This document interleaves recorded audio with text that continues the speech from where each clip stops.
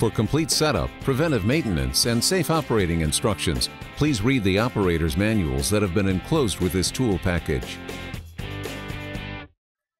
The Huck Model 3585 PT installation tool builds upon the features of the popular 3585 tool. It features a longer stroke than the 3585, a pass-through piston and end cap, and has the capability to install Huck Spin and Huck Spin 2, bobtail, and C50L Huck bolts.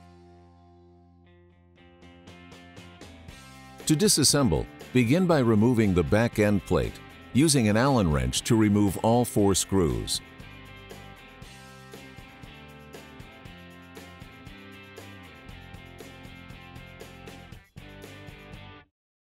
Next, remove the locating disc. Now, using a special hex which is included with the kit, loosen the back cap.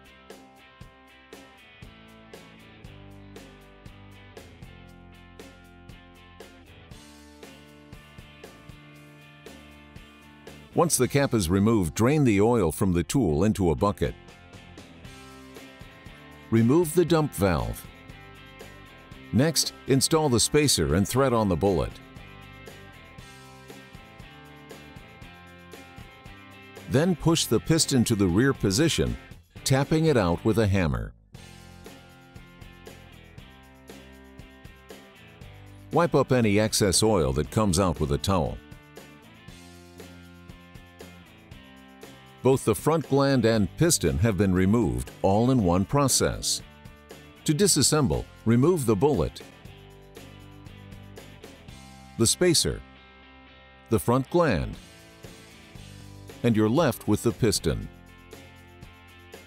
The 3585 PT has the advantage of being able to remove the adapter in case a collet gets stuck on the piston.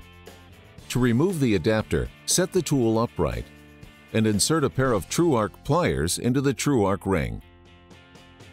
Squeeze and lift the ring off the adapter. Lift the cylinder and you'll see that the adapter has been removed. Now the tool is fully disassembled. To inspect the disassembled 3585 PT, first check the interior for scratches and score marks. Inspect the front and rear sections of the cylinder for scratches. Inspect the piston, looking for score marks on the front or back. Inspect the front gland. Take it apart and add new seals to the inner and outer sections. Replace the seals on the back cap, both the inner ring and outer ring. The inner seal is held in place by a small lock ring, which is removed prior to replacing the seals. Be sure to inspect the dump valve, making sure there are no heavy scores or nicks or any scratches on the edges of the flats to reassemble the 3585 PT. First, insert the adapter back into the tool, starting from the rear of the cylinder and using both hands for guidance.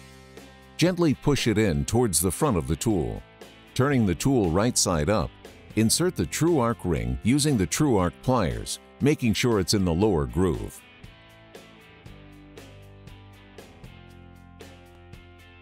Next, assemble the bullet into the piston. Be sure to re-lubricate the piston and the inside of the front gland before reassembly. Replace the front gland, gently pushing it into the piston and tapping to make sure it's secure. Thread the ring compressor into the rear of the cylinder. After lubricating the piston assembly, Insert the assembly into the tool, tapping lightly with a hammer to help secure it into place.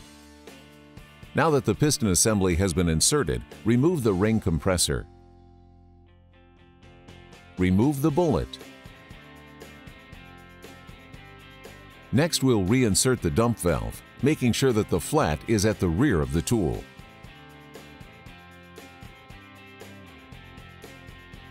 Grease the seals on the back cap before reinstalling.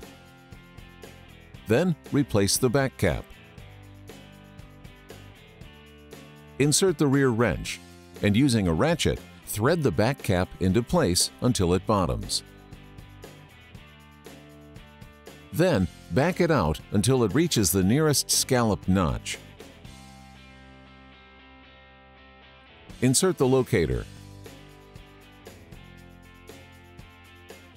Now align the back cap and screw into place.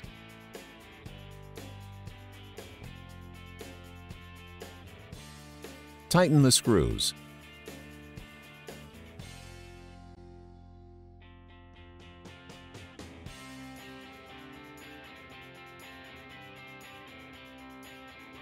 Time to test the tool's hydraulic system to make sure there are no leaks. Holding the tool up at an angle, cycle the tool, and once it's cycled, visually check to make sure there's no oil in the front part of the adapter. Turn the tool over to check the backside, cycling the tool once again, checking for oil. Shut it off and visually inspect the tool for oil leaks. Now we'll add the nose assembly. Note, on the collet there is a machined flat. Thread the collet on until this machined flat is flush with the face of the adapter. Before attaching the collet, cycle the tool once more to make sure it's in the full forward position. Thread on the collet, taking note of where the flat is lining up. When the flat starts to disappear, hold in the ball lock on the collet and rotate until it starts to disappear in one of the grooves on the piston. Push down the anvil and install the first section of the half ring between the adapter and anvil.